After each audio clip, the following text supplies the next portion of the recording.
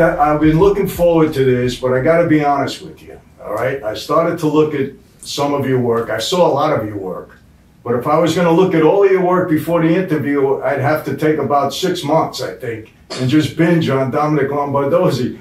What haven't you been in? You've been every great film, every great television show, all the best. You're in it, every single one of them.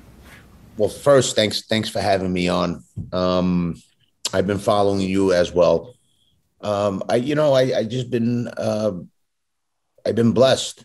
I really have, and um, I work with some really phenomenal people, and I, you know, I hope that continues. But um, well, it will. And I have to tell you, you know, um, you know, I had Chazz on recently. I saw that. Yeah. I had, I had Lillo on recently.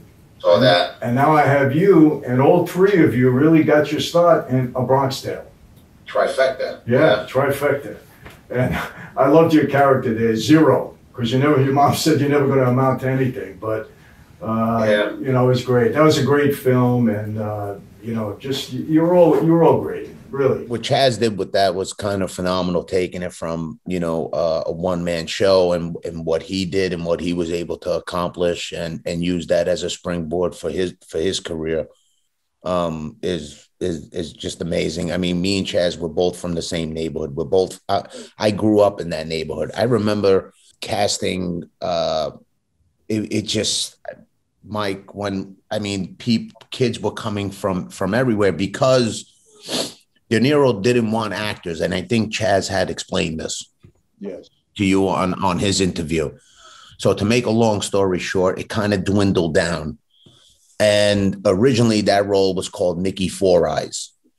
And then it was changed to Nicky Zero.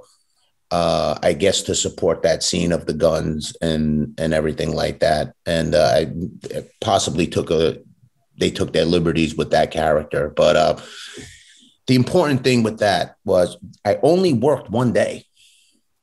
I only worked one day, one day. And it, my audition was with Chazz.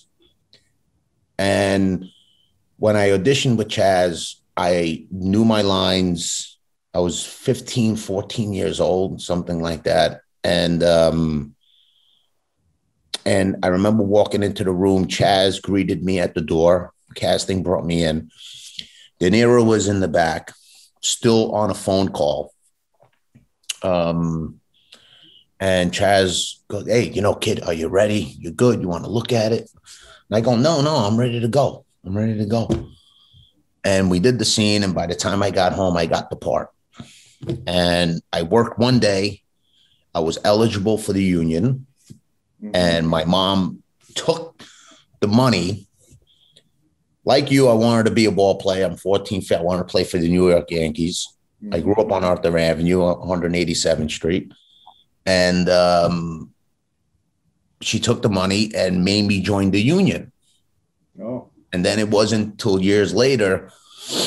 Now, as an act, I, I, I see how difficult it is to get a union card. And it's really hard for me to give advice to some people how to do that because it just – it happened for me in such an unorthodox kind of way. I owe it to Chazz, and I, I see Chazz. Chazz doesn't live too far from me, and uh, I, I, I owe it to him, and I owe it to Bob. You know. Well, let me ask you: When you went into audition, did you really have to act, or was that kind of your character? Because you grew up in the neighborhood. I wasn't a troublemaker. No, I wasn't. I wasn't that guy. You wouldn't know I was in a room. Really? Still, still. Very, um, very still. quiet. Very shy. Really? Yeah, very shy. Even now, I've said it before. I'm acting for me is therapeutic. It, all my insecurities that I carry with me, um, when I'm in front of the camera, they kind of disappear. So, but you gotta have you gotta have a lot of confidence in yourself because to be an I'll tell you this, uh, you know, I I've been a speaker, a public speaker now for the last 25 years, Yes. And I can't take my own notes up on the stage and read them because they distract me. I have to know everything and just speak from the heart, and I can't bring read my own notes, which is crazy. It's not a good, you know, it's a, right. it's not a, it's a skill set I should have, but I don't have.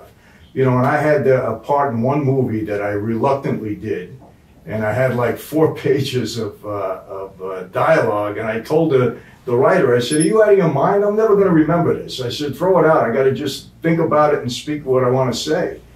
And uh, so I, I, I, was telling Chazz too, I have a tremendous respect for actors. I, I never realized just how difficult it is. And I was playing a character that was kind of like myself. But for somebody like yourself to get into another character, and this is even more, if you're a, you know, normally kind of a shy guy, to get out there and just be somebody else and do it so well, because you're, you're, you're terrific in all these roles, and I have to say that. I always admired you. I mean that. I admired you. what you did. So. And, and, before we even spoke, I, I, I saw interviews where you had mentioned me, and people would call me, you know, Michael Franzese, you know, he mentioned you in this interview and and and everything, and um, so I, I I really appreciate that, especially when uh, we spoke about the Irishman, and you and you texted uh, you DM'd me or something like that on, on Twitter. I mean, it meant a lot to me because I know you knew him personally. Yes. And I had nobody to really talk to who did know him. To I I I went based on tape. I based I went based on news clippings. I went based on um, just regular information. So to get that from you was uh, very, very. Uh, it, meant a lot to me. No, you really nailed the role, and I knew him fairly well, and uh, you nailed it, and uh, that's why I had to. I had to tell you.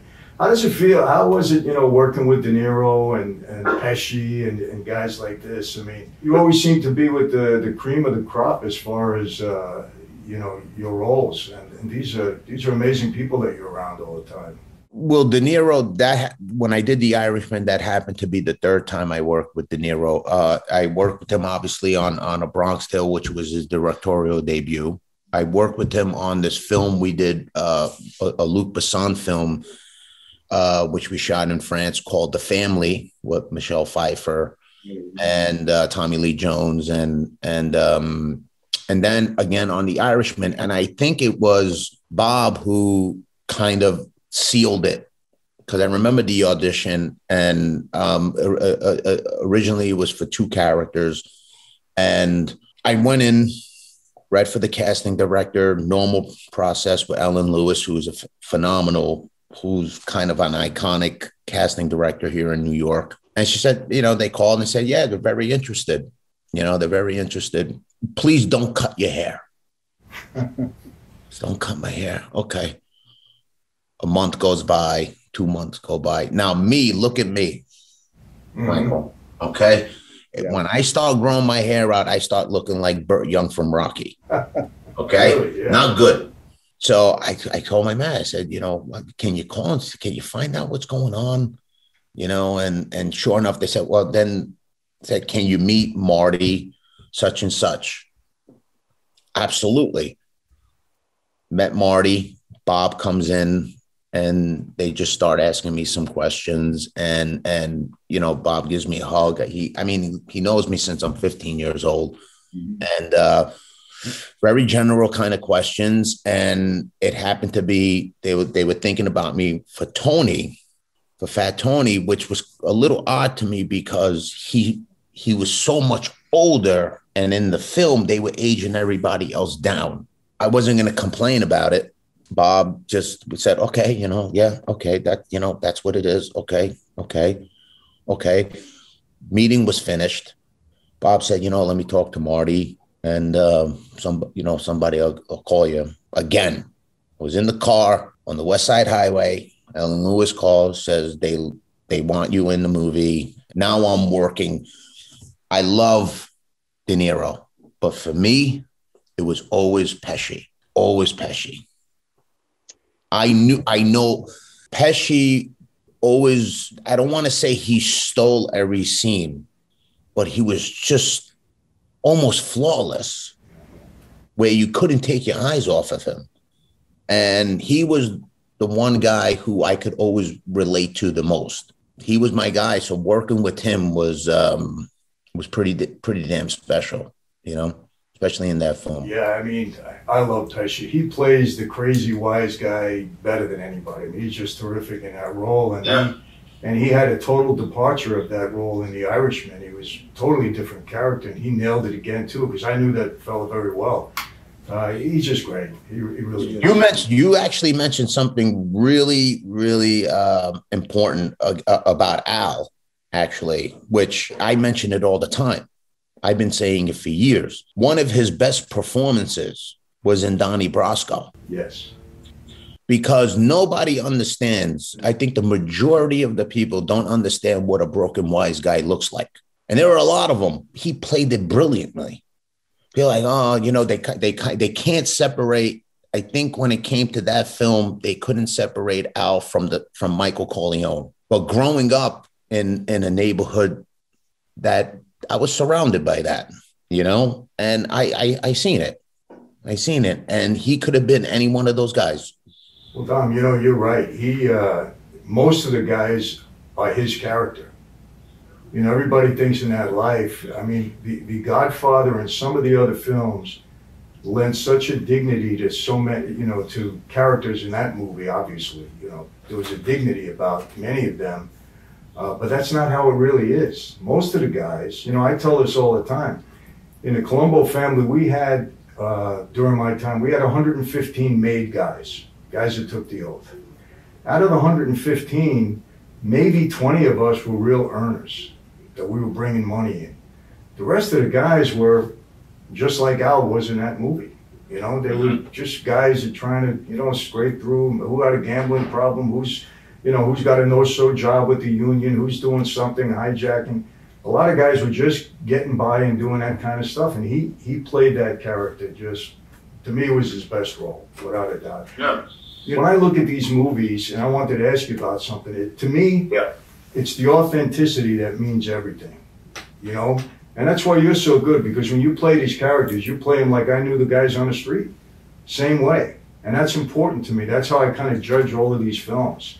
And uh, Pacino, I don't think he grew up around this, but he, he certainly nailed it. And even De Niro, I don't I don't know his background that much, but you know they get into the character pretty pretty darn good. And you you know you come out of the Bronx, I'm sure you're around guys. If you're around Arthur Avenue, you must have seen you know plenty of guys hanging out there. Right. So you know you you nail the role, and that's what makes the movie for me with Tony Salerno, it was important for me to find like little certain things, like obviously him chewing on the cigar. When he sat in a chair, he turned the chair around and he was always like this, uh, kind of kind of thing. So those little, there wasn't much.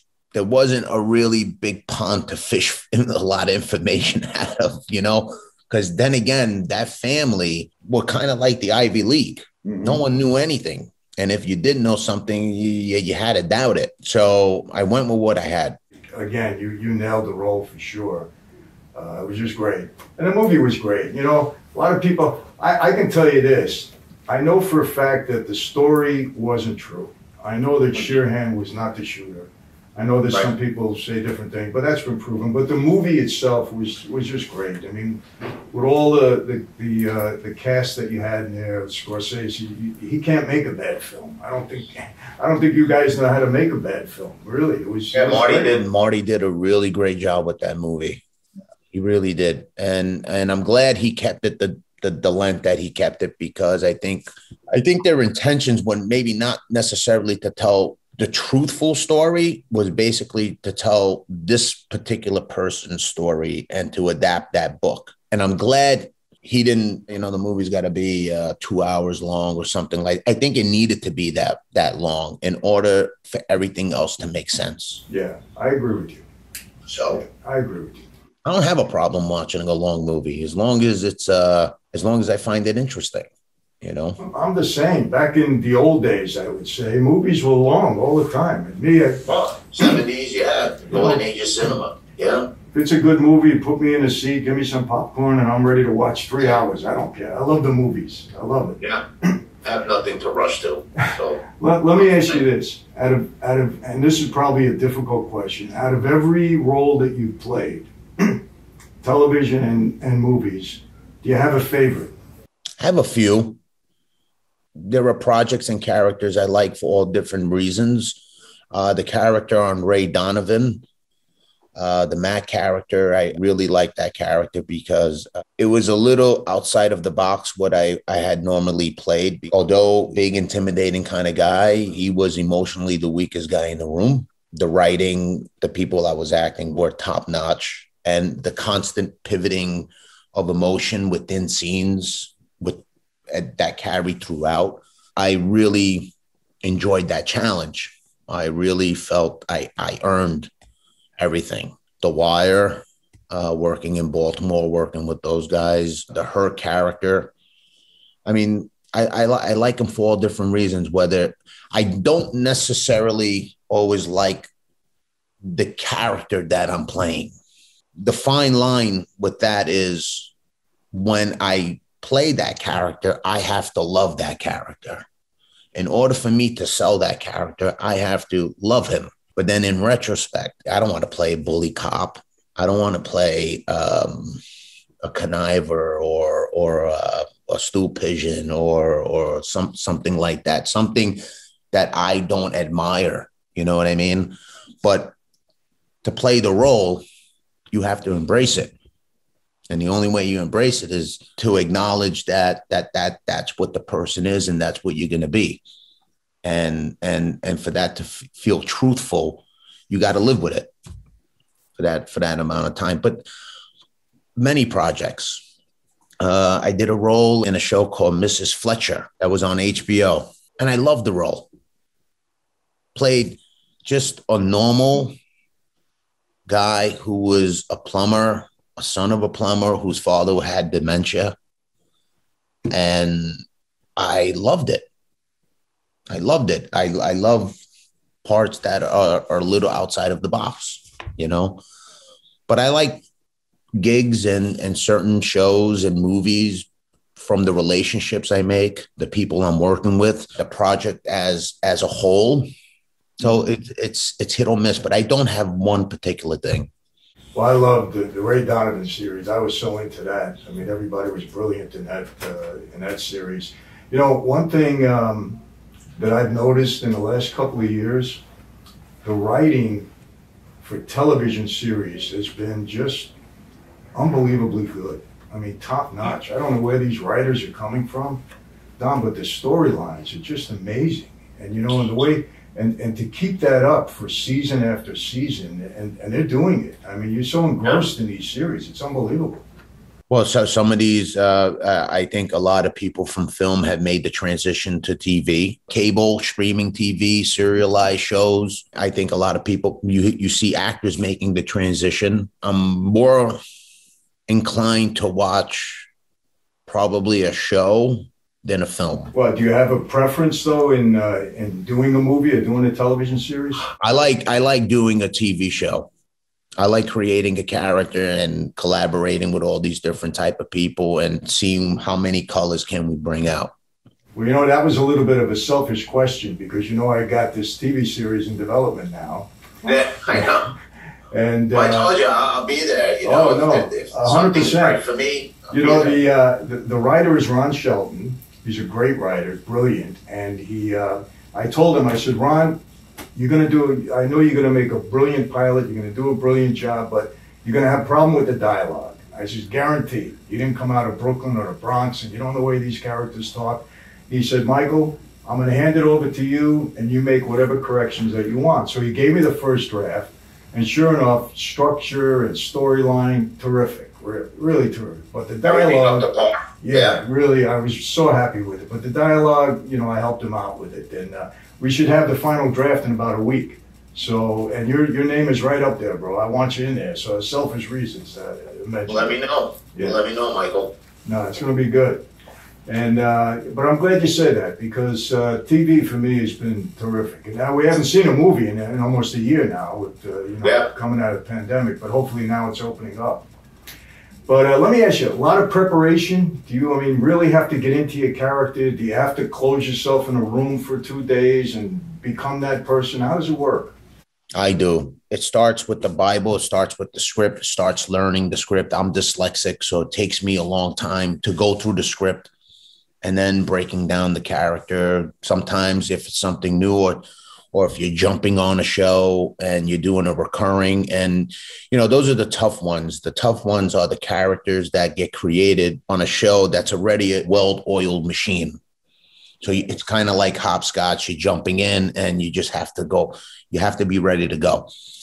So you create these little things. You create these little backstories that that aren't given to you. Little things that, anyway, me. That's what I do. But I'm able to leave it at work. But when I'm working, you know, I don't really goof off or you know um, it's just try to stay as focused as possible. And and i wouldn't say i'm daniel day lewis method. I'm not that. But then again i haven't had a role that needed that much you know who knows? Maybe i would if i had the chance to play or play any of those kind of roles but um always it's always in the back of my mind. I could be at a barbecue doing a movie and i'm saying lines in the back of my head little things you know? It's like you're not even aware of it when you're doing a character, the way you drink something, the way you walk, the way you look, the way you react to something, there is this prep that happens and it will stay with me. It's kind of like a routine, always the same thing, very repetitive, same thing. Drink this drink before you go on. I'm just very superstitious that way. You're back to being Domenick Lombardozzi, but off the set, you're still thinking of the character Always. always. not only what I'm I'm going to be doing, but I'm thinking of a scene that I shot two weeks ago. And it's also because a lot of these things are shot out of chronological order. I'm always, yeah, but this, I would, uh, I would, you know, um, my mood, I, I was thinking about this, this happened. Meanwhile, you could go to the script supervisor, and the script supervisor could tell you, yeah, you know, this happened after you were in the car and you came out and you guys had the fight, blah, blah, blah, blah. But I need to know it.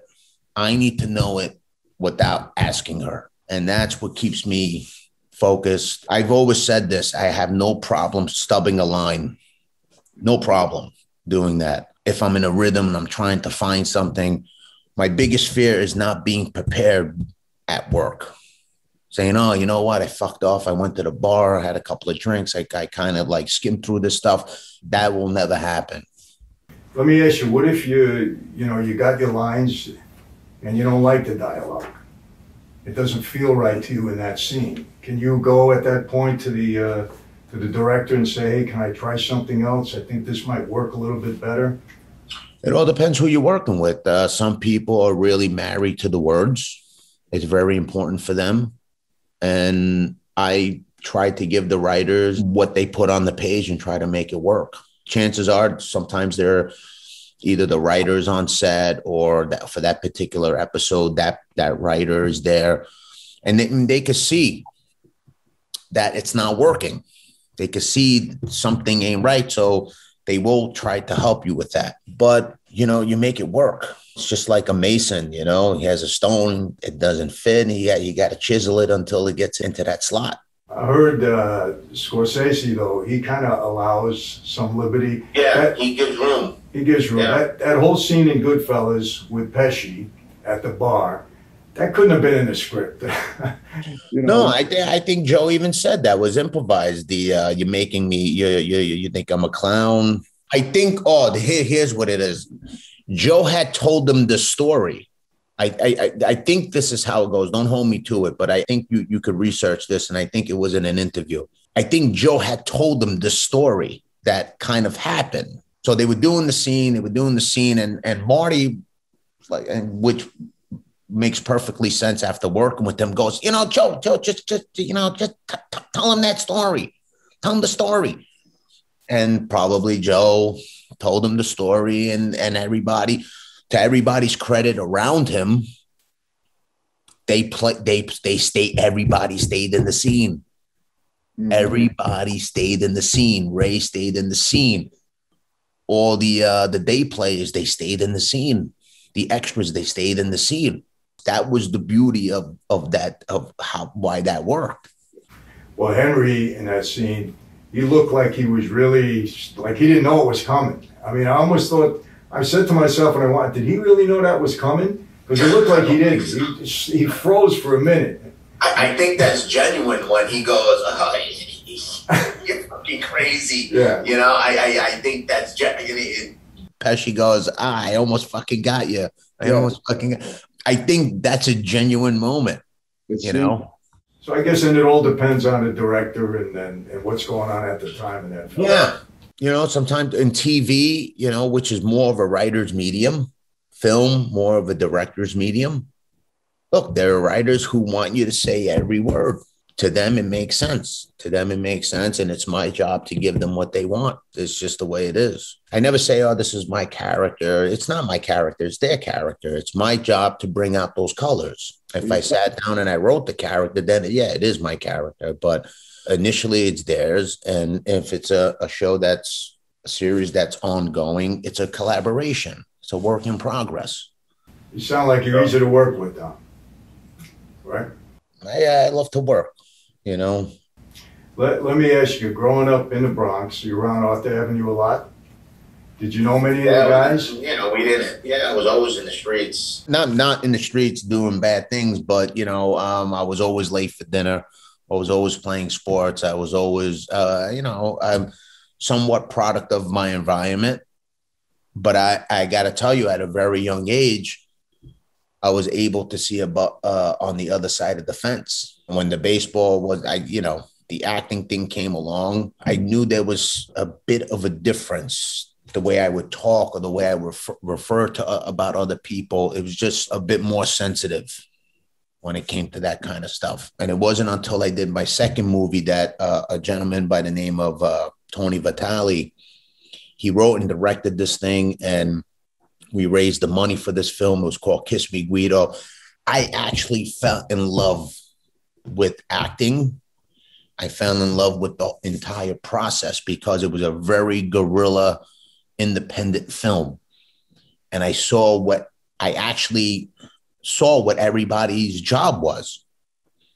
And I think it's important as an actor to know what everybody does, kind of like what Ray Lewis, right? Ray Lewis, probably one of the best linebackers, right? Ray Lewis knows everybody's job. One of my mentors, uh, Phil Rosenthal. And if you're a writer, you should take an acting class. If you're an actor, you should take a writing class or a directing class. You need to see what's on the other side and where they're coming from in order to collaborate sometimes because it could get messy. Did you think, just from uh, where you grew up, did you think that you were going to gravitate towards the roles that you had? The wise guy role, or maybe the tough cop role? Did you think that's where you were headed? Yeah, I mean, I'm still, I'm still. I've said it before. I'm still singing and dancing for my food, and it's still hard to try to convince people sometimes that that's not me. But I have a few people in the business, uh, a few casting directors uh, I had her on my podcast, like Sherry Thomas, and most recently Whitney Horton, uh, who are fantastic casting directors who think outside the box for me, who mm-hmm. will bring me in. I'm not saying I'm going to get it, but they see, they they understand, and it's it's hard to change how people think. I mean, big movie stars, Yeah. big movie stars get typecast. But to make a career, somebody had to do it, right? Somebody had to do it. And it was always my, you know, I'm very blue collar, I come from a very, very blue collar family. I'm first generation American. I know it's about work, it's about family. Everything's about work and family. You work to support your family. And it's always been important for me to just keep working. Work gets work, I guess, you know? Yeah, you know, when, you say that, I have, uh, there's a lot of great actors, yourself included, that this is a job to you. It's a career, it's a job, it's, uh, you know, it's something you love doing. And there's not a lot of controversy outside of what you do. You know, and there's mm-hmm. some, some people in that role that you're always hearing about them some way, shape, or form, outside the box, whatever they're doing, who they're having an affair with, everything, you know what it's. But then there's somebody like yourself that, hey, this is my career, this is my craft, this is my job, I take it seriously, and when I'm done with it, I, I'm just Now-. You might see me at Home Depot bitching because I can't get a a car. car. Okay. That's okay. Because people like to sh- to like go to Gucci and and shop and like Maserati dealers. I could stay in Home Depot for about two hours and just uh, you know I need that drill. I really do. I need that sander. You know I need that level, and that's what I'm doing. Yeah, I, I'm. I go to the store. I, I'm in my, I, I I look like I'm a landscaper. Yeah, you know. So um, I'm, and I love. I'm fine with that. I like. I like my hands dirty. I like my hands rough. Um, that's just the type, and so, which is great because when I am doing a role, that doesn't exist. right. That doesn't exist, and that's that separation that I was talking about before. You get noticed a lot in Home Depot? Yeah. Yeah. I, I, I, yeah. I get noticed, you, you know, and people are really flattering and people are really nice and I, you know, and um it feels good. You know, it feels good someone, you know, see something you you've done. And um, but I, I don't need it. I don't need it. Yeah, but it's great. I don't, I don't need the table at the restaurant. hmm I don't. I don't need that. So, so you're still blue collar all the way.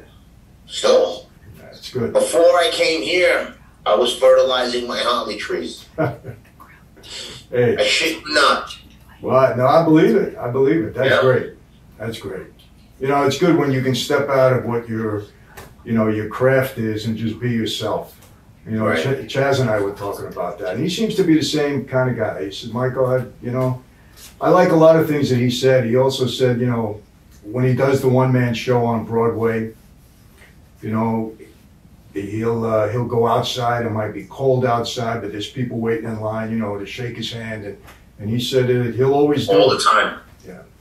And that's a good. Chazz is great. Chazz will stop what he's doing and talk to a fan. I've seen him do it. I've been around him and I've seen him do it. And um, that's no lie. But can you imagine the rush that he gets doing that one man show on stage and rocking that that that little whatever theater he's in? I don't, you know, 200 people. I don't know what it is. But um I'm glad I'm glad he's able to experience that. Makes me happy that he he he um it makes me happy that this this little thing that he created has blown up into so many has so many different veins, you know? And um I'm really happy for him. I really am. He deserves it. I mean, to do, you know, you're right for that one man show. I don't know how you can. I haven't seen it, but I'm going to see it now. I, I'm seeing it in reverse. I've seen the, the movie, and then I'll see that. But to do 18 characters like that is, I, I can't even think of that. You know, It's I crazy. can't wait to see it. But let me. Uh, you ever want to direct? That's the goal. That's it, huh? It seems That's that almost almost every actor that's the goal. They want to direct. Why is that? possibly the it's a natural progression maybe maybe it's so many years being for me it's so many years being on set that sometimes you find yourself saying um, i would tell this story a little differently i would put the camera here i would start here i would i would uh, maybe do a tracking shot or i would you know i I do it all the time constantly thinking of that, how to tell a story of visually, that is, right? So I think that's somewhat of a natural progression for an actor, uh, producing, creating something, seeing something from infancy to the end. You're directing something. If you're directing a movie, you're with that movie for about three years. Talk about really creating something. For a serious actor, a natural progression is, hey, we want to direct and we want to see how we, we can make this film. But this it's so time consuming. I mean, there's so much involved. You just said it. I don't think people realize that when you're with a project like that, you're with it for years, for years, and it's constant. You know, Some some directors are with it. you know, you have directors that come onto a project that's already set up at a studio. Now, imagine a director that a project is not set up at a studio and selling the project and casting and locations and script and rewrites. And look, there's a movie you write, a movie you shoot, and a movie you edit, and none of the three are the same. Right. Okay. So now think about this you prep the movie, you shot the movie. Now you're in post. Now you're creating what you think you have or what you think you might have want to show people. Mhm. It's a whole other process. You're with that thing for a really, really long time, and then you're selling the movie, right? So it's a long, it's a long. I have a lot of respect for directors, um, especially uh, writer directors. No, I have respect for everybody in the process too. But you know, even in this thing that we do here in these YouTube videos, I have so much respect for our editors because they they make it come alive. You know, and and and in a movie where you have so many so much footage of film. To put that all together in a cohesive way to tell a story, it's uh, that's a lot of work. It's amazing. I've watched a lot of editors. It's a lot of work. Takes a village, Michael. You know, you know, like they did. Like I, I really believe in this saying. You know, it takes a village to raise a child. Yeah. You know, uh, you see it. You see it in certain people that will come from a certain type of family and and a certain type of environment. And I think the same thing when it comes to film. It's a work in progress for everybody, from the editor. From you, that role right there is is so crucial. You have a finished product. You have all these takes. You have all these these things. Now let me hand it to this person Mhm. and let me this person help me put these together. Or sometimes you just hand it to them and you you let them do a cut Right. you know, and then you go back and forth. Uh, for everybody, I guess it's different. A lot of people involved. Yeah, it's, it's an amazing process uh, from start to finish. Un- Unbelievable. Let me let me ask you this: How did you uh, how did you handle the lockdown and the pandemic? I, I get asked that all the time. How did you get through it? What did you do? Uh, for me, honestly, um, I got to tell you this. You know, I I normally travel just about every week. I do probably 70, 80 dates a year speaking, and shut down during the pandemic, and I got a little spoiled. I mean, I don't want to travel anymore. You know, I mean, I enjoyed being home. It was the first time in like 25 years that I say, hey, I'm home. I know my house. Hey, these are my kids. You know, I mean, it was great. Um, so for me, it was a, it was kind of a blessing because things, you know, the whole YouTube channel came was born out of that, and this coaching that I'm now doing was born out of the pandemic. So for me, you know, and you don't want to be offensive to the people that struggle through it. It, uh, you know, it worked in my favor in some ways. Now, obviously, you know, I don't mean that to be again offensive to anybody, but how did you handle it? It was a little scary. You know, my you know my mom has ALS, uh, so my mom is in bed. Um, so it was important for me, you know, to quarantine to be really strict about that. So it was a little scary in the beginning, constantly not trying to get sick. And then, you know, on top of that, you're not working. So you try to occupy your time that way. And you really couldn't do anything for that first year. And then, you know, the, the summer came and things got a little lenient, but for me, really couldn't. It- it- I just got my second shot. Got my second shot last week, so I'm I'm completely vaccinated. And uh, but yeah, I, I've always had to be careful because I'm around my mom. How did I call? I don't know. I binged on TV shows, watched you on YouTube, I'm glad. and uh, you know, I'm glad I gave you at least an hour. Same, the same thing. Oh, you know, people you you would think people would get creative during that podcast and actually something a little off the cuff. Yeah. you know you did some really really good interviews I, I personally think the best one you did was with um value entertainment what was his name um Patrick Bet-David. Ben David. Yeah. Is that am I saying it correctly Yeah. correctly? Patrick Bet-David. Patrick Ben David. Yeah. that was a that was a that was a really good one. Everybody's got a YouTube channel. It's been becoming a crowded space with ex mob guys or guys that say they were associated with the life. I mean, I had two guys uh, in Florida. I forget the guy's name. Six months ago, they started talking about me, and they turned to the camera and they said, "Franzese, we're coming for you. We're coming for you. We're coming for you." And I'm saying, Really? "Nobody's yeah." Never seen them. Never heard them. Never heard them since. I mean, they, nobody came for me. I don't know who they were, but I'm just saying everybody's, you know, YouTube seems to be the thing now. Get up there, do a Yeah. podcast or whatever, and I mean, I'm included in that, so I can't knock it. I mean, I, I'm, I'm one of them, but I got to tell you, I did my podcast. I uh, I did my podcast. I set it up. To be perfectly honest, it was set up um, when the Irishman came out. So people would call me to do that podcast, so I would. And what wind up happening is when I was on their podcast, I would kind of ask them questions, and it was a great hour, hour and a half talking with them, and people would see it, and people like, oh, you know, maybe you should start your own podcast. I said, you know what, man, you know, maybe May- maybe maybe I should. And I asked my buddy, I said, I'll do it if you produce it. It was just to talk to people, to to find out, you know, if someone could learn about them and if I can make money during the process, that's great. But um, it was mostly uh, for having people on and if there's a person out there listening because it's a very very slow build i'm not in the witness protection program i don't have stories about killing people you know so when, when you have that next thing you know you have 5000 pe- viewers 10000 viewers 25 because they want to hear who did tommy karate kill i don't have stories like that I talk to regular people. I talk to people within the business and people who have important things to share and information. And if anybody who's listening could pick up and learn something from it, it's all worth it to me. But it's a very, very slow build. I know, and you know, it's it's interesting that you say that because so Dom's many dead, by the way. Dom's dead. Dom's dead. Yes, Dom's dead. I don't know how to plug it. How to plug it. you know, so many of the guys that have these podcasts now, they, they were in the witness protection program. They do have immunity for a lot of things that they did, and they can talk about it, you know. And uh, I'm not in that category. I can't talk about certain things. You know, I spent 20 plus years in that life, but I never had immunity for certain things, and uh, you know, so I don't talk about it. It's not where I'm coming from anyway, Dom. You know, I'm not I'm not looking to uh, to glamorize all of that stuff. You know. I've told people this, and, and I mean it.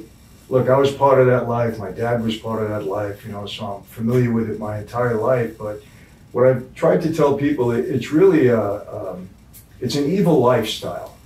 And the reason I say that, I'm not calling the guys evil. I was one of them, and I don't judge people like that. But the lifestyle itself, I don't know any family of any member of that life that hasn't been totally devastated including my own. Now, not, not my wife and children, but my mother, father, brothers, sisters. I mean, and, and every member of that life, it, it always turns out the same all the time. Mm-hmm. And people don't realize that. So any lifestyle that does that to families is, is a bad lifestyle. And, um, you know, so I don't want to glamorize it in that way. I'll tell stories about it because things that happen and it's interesting. There's no question about it. I had a lot of experiences, but, you know, we're not here to glamorize that life. And I, I think a lot of people that are listening in to some of the guys, there is a glamour to some of the things that they're saying, and you know, it's almost like they're watching a movie. It's it's it's you know, but they're telling true Mhm. stories. At least that they say they're true stories. Who knows, you know? But uh, it's, it's very interesting that they have such audiences that so many people are tuning in, and I'm saying, wow, you know, people just like to hear this stuff. They really do. Well, I think I think I think I think there's there's an attraction to other people's misery. You know. Yeah, that might be a good way to put it. It's true. Mhm. But anyway, listen, you know, YouTube again, it's a crowded field, but hey, I guess the more the merrier. Who knows? And, and you're, you're still doing your podcast, right? Yeah. I'm, I'm gonna have I'm gonna have you on um, soon. Great. You know, well, obviously I gotta wait now because I did yours. So, Yeah, no, that's good. you know, maybe after this sit down, you know, you can Yeah. come on and talk, be on mine. You know, A- anytime. uh, Anytime. Yeah. No, no problem there. What else you got going like, on? oh, Franzese beat me to the punch. You know, like, okay. Well, you knew I was going to call you on this. You knew that. Let me ask, what do you got going on now? Anything interesting? Anything happening? Um, I just uh, did a, an episode of, of uh, Mrs. Maisel, and I finished up my little arc on billions and um, back on the market. So, but right now, just tending my garden, my vegetable garden, uh, spending time with the family, and you know, um, staying very close to my mom. Well, I hope she Right. does well. And guaranteed you're going to be hearing from us soon. No doubt about it. okay. And uh, listen, I'm not the producer or director, but I do have some pull here. Trust me. Okay. You know, but I, I don't need it with you, Dom. I mean, come on, you're terrific in all these roles. We I'm got a lot sure you pull a lot of weight. Huh? I'm sure you pull a lot of a lot of weight. Well, Yeah. we'll see. It'll be fun. All right. Uh, I'm curious to see what happens with it. I, I really hope it. Uh, it, it comes to fortune for you because uh you know people only see part of your story here your story's been told in our increments okay and then you know another question to come in that part of the so nothing has ever really been flushed out the most important thing you, you've said that hardly anybody talks about is the devastation it does to the family I've seen it. Mhm. I've seen it. I've seen what the RICO Act does. Yeah. Devastating. Innocent guys. Forget it. Forget if you're a legitimate criminal. okay and you go away you get convicted you take your time you do you do you have you know they're hitting people with jer- uh, football jersey numbers right and i kind of understood what you were saying with chazz about the fear and the love and and i get it and i get it because you're thinking if someone loves you they'll take that rap they'll do those 25 30 years because they legitimately love you as if like if like if i had to do time for my brother I'd absolutely hands down boom give me the 30 years Right. you know i'm not going to flip i'll never do that but the fear is like uh, you know I, I i'd rather take my chances going on the run or on the lam from you as opposed to doing the 35 years or the life year and, and I take my chances running from you as a opposed now that you know it's it's kind of reverse. I understand. I understand what, what you meant. 20 years ago, if you were feared, it was different. It was different. It's more than that, Dom. What happened in our life is that the fear of our life, you know, our boss and what could happen to us, was transferred to the government. Because what happened with when the RICO laws came in and they changed everything, they would grab a guy and they'd say, hey, look, this is the deal. You're going away for the rest of your life. You're going to do 30, 40 years. There's no more parole. You got to do 85%. We'll put you in a witness protection program. We'll take care of you, your family. Don't worry about it. You guys are going away forever. So what do you got to worry about? We'll give you a new identity. We'll give you money. And now, you know, the fear is I don't want to do that jail time. And the government's offering you protection and everything else. So, you know, the fear is transferred to the government. But if you love somebody, you know, you're not going to break. You're not going to break. And you say, Well, here, here's a, a lot of these interviews, it, this is how it usually goes. It goes like this. It goes, Yeah, you know, I went into this life. I admired this life. I went into this life. I did this. I did that. The reason why I decided to flip was because these people were talking bad about me. These people were the ones that were ratting, or or a person who was a higher, who was a captain or whatever. That's not the point. The point is, you went against what you signed up for, regardless of what these people are doing. That's the part that's hard for me to understand. That's the part that's hard for me to say. "Ah, I, I can understand what you. No, I really can't understand because no, if 20 people in your family were ratting, doesn't mean that you have to, ra- to be you you signed up for that. You know what I mean? That's an ongoing common denominator in a lot of these these podcasts and stuff like that that I see, which I don't get it. You know what, Dom? I, I'm going to tell you something. That's it, it's amazing that you've just pointed that out because most people don't see that.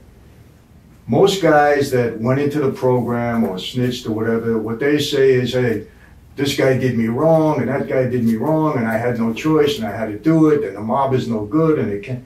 It's all nonsense. The bottom line is they don't want to go to jail. And listen to me. I've sat through five trials of my own. I sat through four of my fathers, okay, that I've actually sat through. I have never seen an informant get on the stand, left hand on a Bible, right hand swear to tell the truth, and then lie through their teeth. They don't want to go to jail. They make all these excuses up. This guy was going to come after me, and they broke their word, and the mob is no good. But you just hit it. None of that matters. This is what we signed up for. We took the oath. We knew we weren't going into, you know, a, these weren't choir boys. These are street hey, guys. listen, listen. I, I mean, I'm, I'm not in that life. I, I, I, I don't know what it is to be in that position. like at that stature, you know, it's what you signed up for. I'm sure you know there are a lot of people who were affected by the RICO Act just because they know this particular person and they sat down in a cafe. So now they're conspiring or whatever. I feel bad for those families. I really feel bad for those families that a person gets tangled into something just because they know them or they knew them 12 years ago or they're having a slice of pizza with them. You, you know, it's it's kind of it's a little ridiculous, but families being hurt, you, you know, that is a definite. That is a definite. Well, Then you know, it's like you know, back in the day, you either going to jail or you're going to the grave. And you know that, but you know that. You know that when you took that oath, you know, I I mean, I never went through it, but from hearing everybody, That's what it is. Well, it's the guys that go into the program that try to make themselves honorable by saying these guys turned on me or whatever whatever excuse they use. And I would bet anything that I have that it's all about not wanting to go to prison. That's that's the bottom line. I, and, and I understand. I can't say I understand it or I agree with it, but you know, in a way, I do understand it. But it's wrong. You know, I'll, I'll point to my dad. There's two ways to look at you know my father, and I'll discuss it now. It's personal, but I'll discuss it. No matter what, okay, he knew that when he and I talked privately, he said, Mike, there's a lot of things wrong with this life. A lot of things happen. My father got screwed in a big way by guys uh, uh, without getting into it. But that didn't matter to him. He said, hey, I took an oath and that was it. And I'm going to die with my boots on. He said, I'm never going to, it doesn't matter who I'm mad at, doesn't matter who hurt me, doesn't matter who passed over me. That's my principle. On the other hand, you know, my family was destroyed as a result of that. So, you know, there's a lot of damage that's done, but the fact that he stood up like that, it's it that was his mentality. Exactly what you said. You know, I took the oath and none of the other stuff matters. You know, this is the oath that I gotta stand by. So there is some nobility in that. When I look at it the other way, I said, okay, Dad, but our whole family was destroyed as a result of this. So there's two ways to look at it, but still. Michael, that's made very clear, though. That is made very clear when you're uh, when you're inducted into that life. That's right. It's it's made very clear that your family comes second to this one. That you're you're exactly Made right. very, and your and your father. Good or bad. Good or bad. He followed that through till I think he was 103 years old, right? 103. Yep. You know, Good or bad. I'm not saying it's the right thing. I'm not saying it's the right thing. But when he was inducted into that life, he was made aware of that, Yes.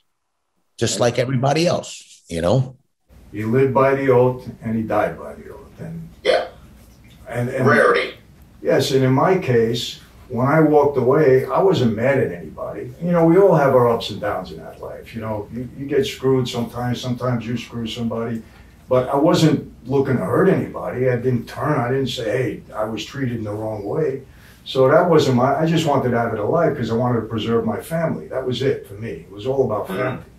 But, Right. um, you know, you're, you're right. A lot of, but what gets me today is that so many guys are, are talking about so many things and they have such huge audience. It's people want to hear this stuff, no matter what. Who got killed? Who did I baseball bat? Who did I do this to?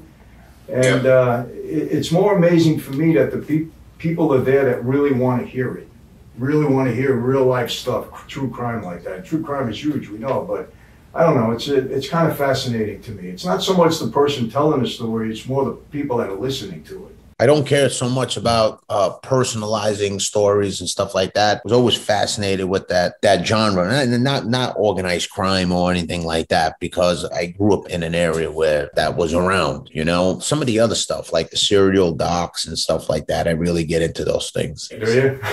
Yeah, yeah, I do. I kind of get lost into those.